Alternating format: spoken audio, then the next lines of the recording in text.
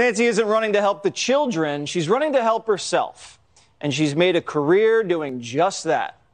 Pelosi first entered Congress in 1987, and since then, she's built herself quite a bank account.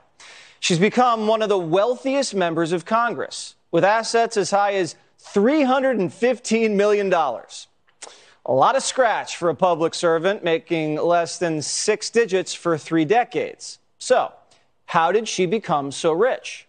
As usual in Washington, this was a family affair. Her husband, Paul, is a businessman who may enjoy a little pillow talk with his wife, the Speaker of the House. Paul Pelosi Sr. has had a history of perfectly timed stock trades while his wife has been running the People's House. In March of last year, he pulled off a $2 million Microsoft trade just two weeks before the company got a $22 billion contract to sell the Army high tech headsets. In December 2020, Paul and Nancy got a million dollars worth of Tesla stock options right before Biden announced electric car incentives.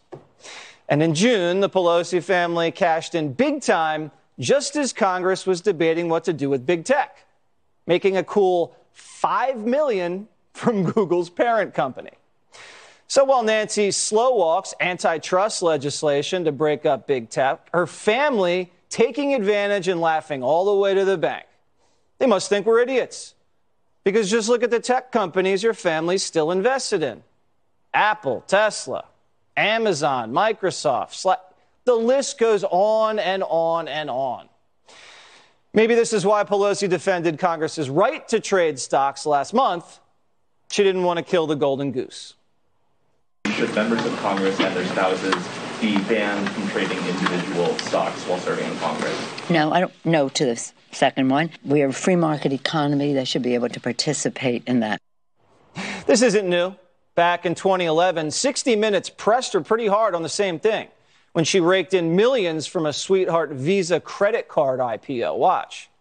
Madam Leader, um, I wanted to ask you why you and your husband, back in March of 2008, um, accepted and participated in a very large IPO deal from Visa.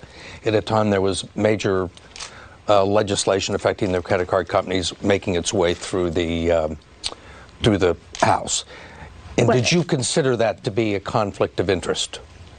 I, I don't know what your point is of your question. Is there some point that you want to make with that? Well, I, I, guess what I'm asking is, do you think it's all right for uh, a speaker uh, to accept uh, a very preferential and favorable uh, stock deal? Well, we did. And you participated in the IPO. Well, I have many And at the time, you were Speaker of the House. You don't think it was a conflict of interest, or had the appearance no, of a conflict not, of interest? It only has the appearance if you decide that you're going to have a, a, a, elaborate on a false premise. But it, it, it's not true, and that's that. I don't understand what part's not true. Yes, sir. Um, that I that I would act upon an investment. How dare anybody question her honor and integrity? Everyone in Congress is doing it anyway. Last year, members of Congress cr- traded about $300 million in stocks and assets. And guess what? They all outperformed the market. Pelosi's just the best at it. If Nancy wasn't writing laws, she'd probably run a hedge fund. The Wolf of Washington. Run for Congress, and you too could buy some extravagant properties like this Napa Valley mansion Nancy and Paul bought, worth about $25 million. Or a gorgeous waterfront condo in Washington, D.C., that Pelosi property now worth over 2 mil. Or the family's multi-million dollar red brick mansion in California's Pacific Heights. Could be yours if you just spend your whole life in Washington playing the inside game. And while the Pelosi's are living the high life in swanky homes, her district is turning into the Thunderdome. To another edition of Thunderdome! Just look at this drone footage, courtesy of the DailyMail.com, showing a homeless encampment in the center of San Francisco. The area has been overrun with tents, needles, drug addicts.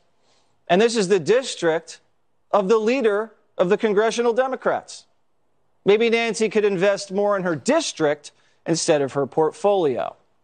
If Nancy dumped a few shares, she could help make San Francisco less of a dump. A little goes a long way, just a few crumbs.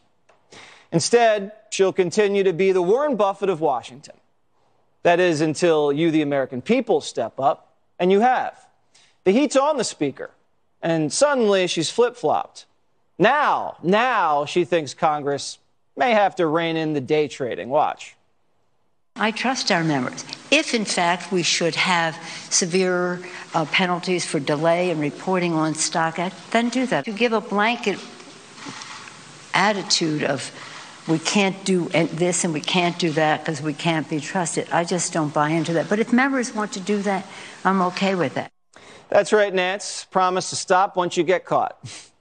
we asked Nancy Pelosi for comment, and here's what she said. The point is, ladies and gentlemen, that greed, for lack of a better word, is good. Greed is right. Sorry, that was the wrong tape. The speaker has not yet responded to our inquiry. But when it's not about the money, it's usually about the power. This morning, we found out liberal justice Stephen Breyer may be retiring from the Supreme Court, leaving Biden to pick a replacement. So if Joe picks Kamala, that would create a vacancy in the vice presidency. This would leave Nancy Pelosi an opening to invoke the 25th Amendment and remove Biden from office. Guess who takes over as commander in chief? You guessed it, Nancy Pelosi. Up, President Pelosi. Now, that theory's bonkers and will likely never happen, I admit.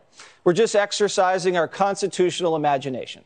Hey, if we can't get away with insider trading, at least let us have a little fun.